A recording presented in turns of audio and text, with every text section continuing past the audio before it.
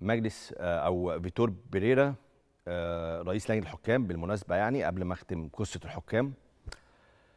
اتحاد الكورة طلب منه إنه يبدأ يصور فيديوهات يشرح فيها الحالات التحكيمية كل أسبوع زي ما كان بيعمل كلاتنبرج رئيس لجنة الحكام السابق.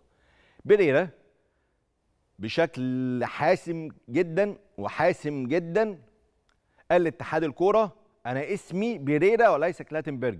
أنا ما بحبش تقليد اي شخص في عملي لأن لكل شخص طريقة آه، يعمل بها فالراجل قال لهم أنا مش هعمل الفيديوهات عشان بس كلاتنبرج أو ما يبقاش اسمي بقلد كلاتنبرج في الفترة الحالية. بالمناسبة بريرا فيتور بريرا لما كان ضيفي هنا في رقم 10 وسألته ليه ما تطلعش تتكلم عن الحالات والأخطاء و هو الراجل لم لم يبدي انزعاجه في هذا الأمر وما قالش إن هو مش عايز وما قالش إن هو رافض الفكرة من الأساس. فيبدو كده انه بريرا بس متضايق من فكرة إنه اتقال له إنه اعمل زي كلاتنبرج.